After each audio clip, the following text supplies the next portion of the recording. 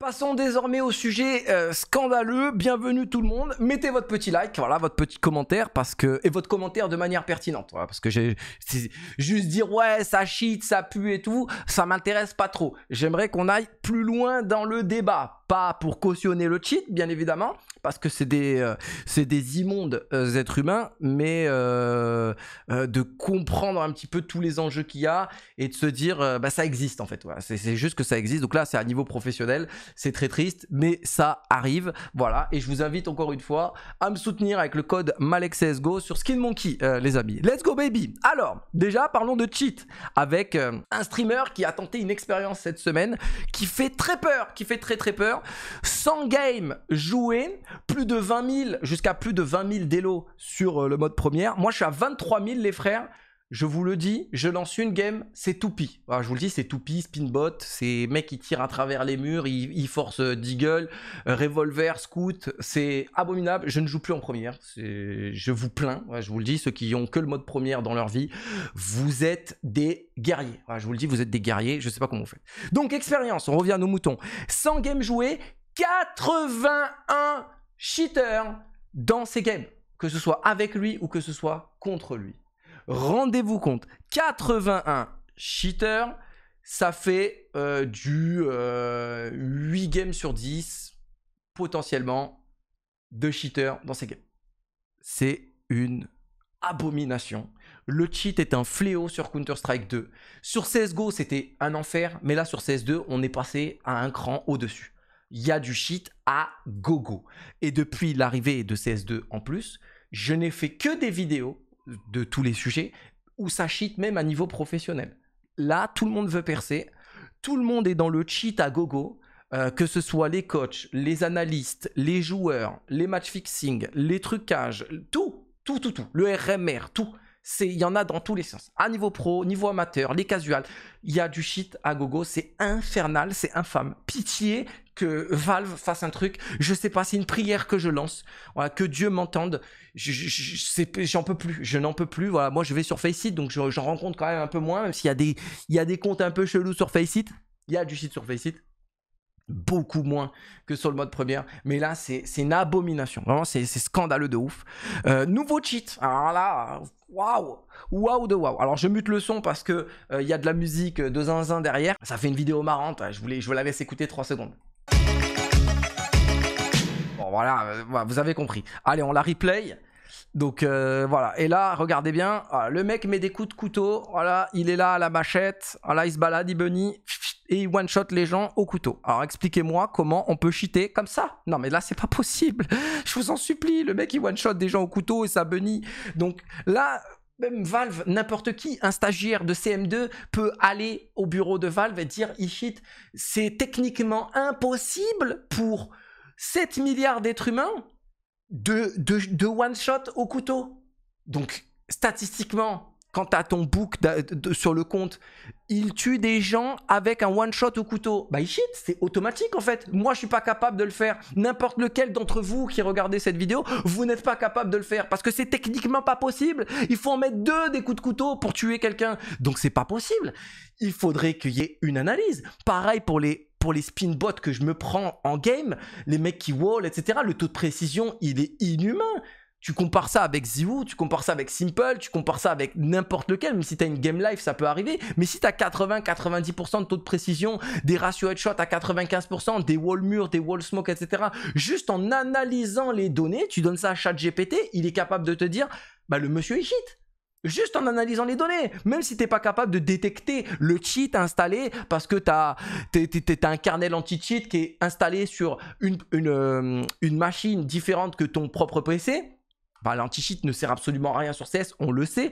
Mais là, il y a des trucs, ça va trop loin. Voilà, ça va trop loin. Là, on a un mec qui fait une expérience, il fait 100 games, il rencontre 81 cheaters sur 100 on a des, des, des bunnies euh, coup de couteau comme ça. Et le pire, c'est la scène pro. Attendez, le pire, c'est la scène pro. Le RMR Europe euh, avec Pera, Peria, euh, on va en parler dans quelques secondes. Attendez. Il y a eu du shit à la Calif Open, etc. Il y a eu des mecs bannis, des dizaines et des dizaines de mecs bannis. J'en ai fait des actus il y a un mois maintenant. Et là, c'est pareil au RMR NA, on parle du RMR, les frères. On parle pas de qualif open online. On parle de offline. Les gens qui sont allés jusqu'au RMR. Et il y a un joueur qui s'est fait bannir dans la team Rocket. Ah, c'est pas un mauvais jeu de mots avec Pokémon, mais c'est réel, euh, les refs. Euh, donc regardez. Rocket qui est dans le RMR America. Furia, euh, Liquid, euh, voilà, Complexity, comme vous pouvez voir. Et on a ce joueur, Emia, un 23 de rating, qui rafale tout le monde et qui est banni, donc qui s'est fait ban pour, euh, pour cheat sur, sur Faceit. il a été détecté sur Faceit. On apprend par le passé que ce mec-là ne s'appelait pas Emia, mais s'appelait Droid et qu'il a déjà été banni pour cheat, donc sur CSGO. Voilà, et qu'il est venu sur CS2, nouvelle identité, nouveau mois, je suis frais, bonjour euh, j'ai un nouveau pseudo. Et il a été banni euh, donc une deuxième fois maintenant pour cheat.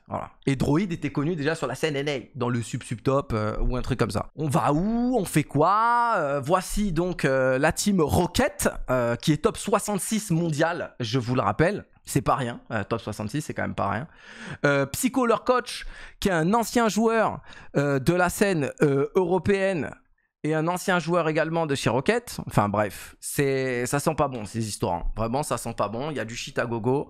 Attendez, c'est pas fini. Restez accrochés. On a un leak de zinzin. J'espère que vous êtes ready les boys. Voici le doc qui a leak cette semaine. Enfin que moi en tout cas j'en ai eu, euh, euh, euh, possession cette semaine. Et voici une liste de joueurs et il y a donc dedans. Voilà. Donc les gens ils ont dit ouais donc il cheat, donc il cheat, c'est une grosse merde. C'est normal, il est trop fort en fait. Bon, ça fait 817 jours qu'il est ami avec un coach. Je vais vous donner du contexte. Ok, alors je vais vous donner du contexte. Ça, va être mieux que d'expliquer comme ça. Metallica, qui est un, euh, un, créateur de cheat ou quelqu'un qui est en possession également et en, relation avec des cheaters et qui crée des cheats. Mais qui est également un match fixeur, qui est quelqu'un qui truque des matchs, euh, euh, voilà, qui un mec sombre, un mec sombre, qui est un ancien coach de la scène CIS. Donc en fait, il connaît toute la scène CIS et il connaît donc la scène professionnelle. Et donc c'est pour ça qu'il a énormément de joueurs pro dans sa liste d'amis. Voilà, parce qu'il y a des gens qui se sont exprimés cette semaine en disant "Eh frérot, moi ce mec-là, je le connais depuis 4 euh, ans, 5 ans, je l'ai en ami sur Steam, ça veut pas dire que j'ai euh, truqué des matchs, ça veut pas dire que j'ai cheaté avec lui." vous comprenez. Il propose, écoutez bien, il propose euh, un radarac et de truquer des matchs pour 7000 dollars le match. Donc on a des, voilà, je vous épargne euh, les, les, leaks, etc., les screens. Mais voilà, il propose donc qu'il va voir un joueur professionnel et il lui dit bah, bonjour frérot, là tu as un match ce soir à 20h, je te donne 7000 dollars là tout de suite et tu truques le match, tu fais exprès de perdre et comme ça moi je m'en mets plein les poches, etc. Euh, voilà. Sinon radarac, euh, genre tu gagnes, euh, tu prends 7k par match. Donc maintenant je ne légitimise pas le cheat, etc. Hein. je, ne cautionne rien du tout tout ça. Vous savez très bien que moi les cheats c'est ambiance à l'ancienne, voilà donc on te prend ton PC, on te fait faire un tour à la LAN directement euh, sur le parking. Euh, moi, c'est plutôt comme ça. Mais euh, vas-y, c'est un nouveau temps, donc on, ne on prône la non-violence. 7000 dollars le match. Parlons de la scène professionnelle. D'accord? Hors T1, hors T1 et allez tiers 2. Hors T1 et tiers 2. On va vraiment parler de tiers 3. Tiers 3 aujourd'hui, c'est payé entre 1000 dollars, 3000 dollars par mois. c'est payé entre 1000 et allez 4000 dollars par mois. Tier 2 après c'est vraiment un gap au-dessus et tier 1 c'est encore plus un gros gap, c'est 30, 40, 50 000 euros par mois. Quand tu es payé 500, 1000, 1500 dollars par mois et qu'on te propose potentiellement t'es russe, ukrainien, polonais, même, même français pour le coup, et qu'on te propose 7000 dollars pour truquer un match, vous comprenez maintenant pourquoi il y a des matchs fixeurs, pourquoi les mecs truquent les matchs, etc. Euh, et ce genre de trucs. Ça, c'est vraiment pour essayer de vous mettre ça un petit peu en tête. Bon, ce mec-là, euh, les amis, euh, est en ami, d'accord Parce que c'est un ancien coach, mais c'est aussi un ancien joueur de CS. Il a 3000 Delo Faceit, pour vous situer un peu son niveau. C'est pas un noob noob. Il est ami avec ce, joueur-là, Poria. Poria, qui joue chez Pera. D'accord Pera, qui s'est qualifié pour le RMR au Major et qui a été éclaté au sol à toute la LAN. 13-3, 13-6, contre Prisi, voilà, ils ont mis une map, mais ils se sont fait rafaler 13-1, 13-7, ils se sont fait démolir. Et ces mecs-là, euh, donc Poria, jouent avec euh, ce copain-là, Metallica, d'accord? C'est bizarre un peu euh, parce que toutes les infos s'entremêlent, mais c'est juste pour vous expliquer que ce mec-là, on a des leaks qui truquent des matchs, qui vendent des cheats et qui est ami avec certains joueurs. Mais là, pour le coup, il est vraiment ami avec Poria, qui joue chez Pera, et avec qui il grind Faceit. Et lui, il est banni pour cheat sur Faceit. Et donc les gens disent Pera cheat, etc. avec Poria et ce genre de trucs. Et là ils étaient en LAN et ils sont pourris. Et là on a une interview de, du joueur Aaron qui joue donc euh, dans cette équipe éclatée au sol. Voilà, Aaron, comme vous pouvez voir, top 46 monde, les gars, top 46 monde. Donc c'est des professionnels, c'est des gens qui sont payés, ils ont des salaires, hein, rendez-vous compte. Euh, top 46 monde et Aaron donne une interview et il dit ça. Euh, je dirais aux accusations, si on avait gagné le moindre match, d'aller vous faire... Mm, mm, d'accord? Voilà ce qu'il dit. Bon, malheureusement pour lui, il n'a pas gagné un match. Hein. Malheureusement pour lui, il n'a pas mis plus de 5 rondes au RMR en LAN. Euh, et donc, ce sont, des, ce sont des mecs bizarres. Donc, peut-être que lui ne triche pas. Mais peut-être que dans son équipe, il y a des mecs pas nets. Hein. Euh, bah, le seul russe euh, de l'équipe, voilà, je veux pas. Mais lui, il est russe, les autres ne le sont pas. les autres sont hongrois et polonais qui a ami avec Metallica, qui vend des cheats et qui, euh, dans sa liste d'amis, euh, bah, vous pouvez voir qu'il y a d'innombrables noms.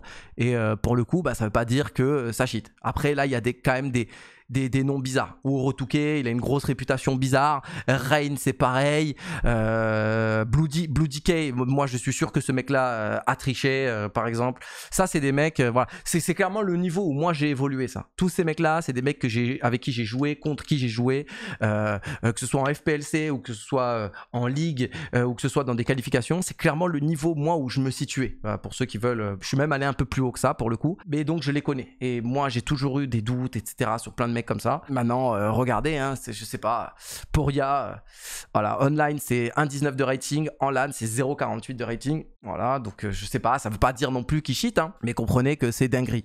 Skadoodle, qui se souvient de Skadoodle, qui se souvient du scandale High by Power et du match fixing, voilà, le plus grand scandale de match truqué, High by Power avec Epsilon, dont je ne faisais pas partie d'ailleurs, parce qu'il y a des gens encore, hein, je ne faisais pas partie de cette équipe Epsilon qui avait truqué des matchs, voilà, contrairement à des joueurs de la scène et même des coachs de la scène euh, à l'éthique euh, euh, pour le moins douteuse qui nous donne des leçons aujourd'hui de morale dans l'e-sport. Mais je tairai les pseudos parce que bon, ils ont des grosses communautés derrière eux.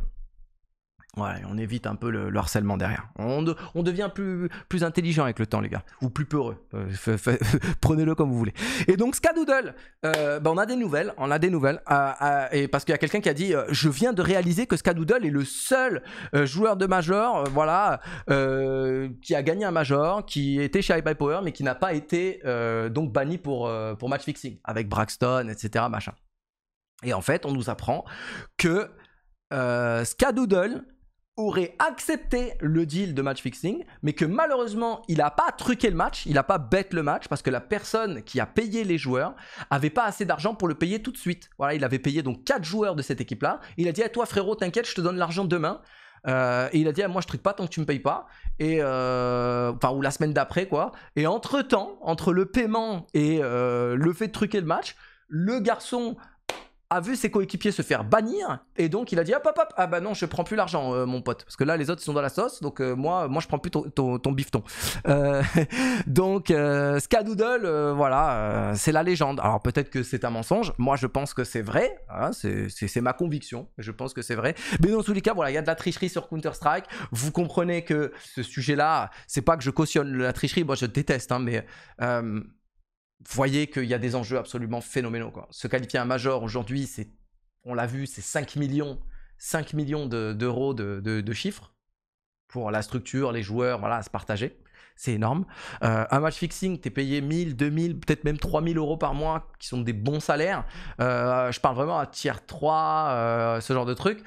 Tu prends 7K potentiel sur un seul match truqué, encore une fois, vous comprenez le pourquoi du comment, la pas du gain. Et donc pourquoi il y a autant de shit sur CS, c'est ça. Hein. C'est aussi simple que ça. Tout ça pourrait être éradiqué avec un bon anti-cheat, d'accord? Et euh, les mesures qui sont prises à niveau tier 1, c'est-à-dire euh, du monitoring, du monitoring euh, tout simple pur et dur. Et sachez par exemple qu'avec ces scandales qui ont explosé cette semaine juste avant le RMR, l'équipe Pera a vu tous ces matchs être retiré d'absolument tous les sites euh, où on peut euh, miser de, l'argent ou miser des skins parce que euh, bah, ils ont un passé très douteux. C'est vous dire à quel point c'est très bizarre et, et ces mecs-là, il n'y a pas de fumée sans feu. quoi.